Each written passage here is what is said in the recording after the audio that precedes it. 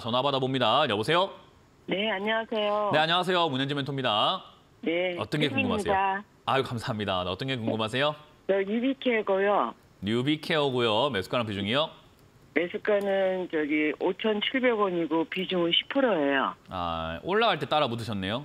아니요, 1년 넘었는데 엊그저께 1년 넘었는데. 제가 5%더 샀어요. 그래서 10%가 됐어요. 아유, 최악이네요. 어제를 왜 샀어요? 어, 며칠 전에 올라갈 것 같아서 샀는데 이렇게 됐네. 음, 그렇군요. 일단 추가 매수는 굳이 안 하시는 게 좋았고 이제 어제 슈팅이 좀 나왔단 말이에요. 그죠? 네, 그때 팔아버리는 게 제일 좋았거든요.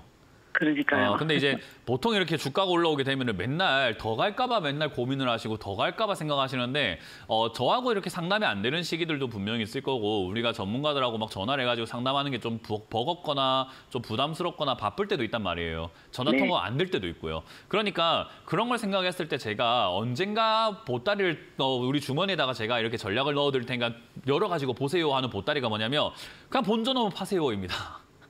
상담받을 생각하지 말고 본전하면 뭐해라고요? 네. 일단 팔아버리는 게 맞아요. 더 갈 것 같다는 생각이 당연히 들죠. 근데 우리가 지금까지 주식을 하면서 주가가 안 올라갈 것 같다 생각하면서 주식하는 적은 없잖아요. 그죠? 네, 주식을 할 때 맨날 내가 무슨 종목을 살 때, 추가 매수를 할 때 올라갈 것 같으니까 사는 거지 내려갈 것 같다고 사는 사람이 어디 있겠습니까? 그러니 모두가 대한민국에 있는 주식하는 사람 1,400만 인구는 전부 다 올라갈 것 같다는 생각밖에 안 해요. 내려갈 것 같다는 생각 아예 할 수가 없어요. 그냥 머릿속에 그런 인식이 있질 않아요.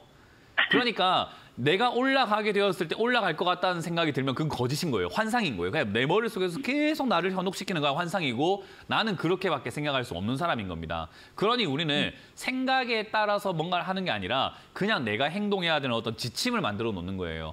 내, 나는 무조건 올라갈 거야 생각할 거야. 어, 올라가다 내려가다 무조건 올라갈 거라 생각할 거니까 내가 해야 되는 건 본전에서 파는 거다라는 것을 일단 행동 강령으로 만들어 놓는 겁니다. 이해가 되세요? 네, 다음번에는 반드시 그렇게 해주시는 게 좋아요. 일단 네. 지금 이건 한, 타, 한 타이밍은 놓치긴 했는데 제가 보기에는 아직까지 나쁜 상황은 아니거든요. 기업적인 부분으로 봤을 때도 뭐 적자가 많이 난다고 하는 것도 아니고 영업이익이 잘 나오고 있는 부분이고요.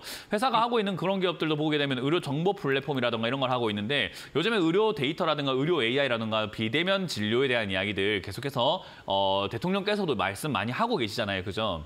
네, 그래서 이 종목이 지금 뒤에서 꿈틀거리면서 움직이는 거고요. 요거는 이제 저는 움직이려고 시동을 걸고 있다. 그러니까 얼어있던 몸이 겨울잠 자고 난 다음에 이제 풀려고 풀러 나왔을 때 막 바로 달릴 수는 없을 거 아닙니까? 그러니까 네. 스트레칭을 하고 뭔가 움직이는 그런 과정에서 나오는 움직임이었을 것이다. 그러니까 가져가면은 더 올라갈 가능성이 높으니까 그냥 가져가시면 되겠고요. 다음번에 올라올 때는 슈팅 나왔다가 빠지는 그림이 아니라 아마 치솟아 올라와가지고 유지가 될 거예요. 그러니까 충분히 팔 수 있는 기회가 생길 거라는 거예요. 그렇게 되었을 때 저는 본전에서 비중을 일단 3분의 1 정도는 줄이시라라는 전략을 드려보도록 하고요. 이거는 습관 기르기용.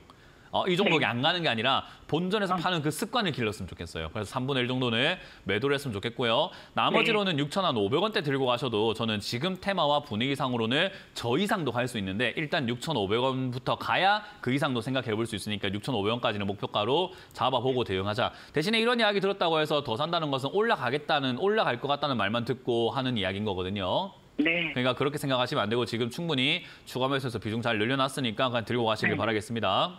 네, 감사합니다. 네, 고맙습니다.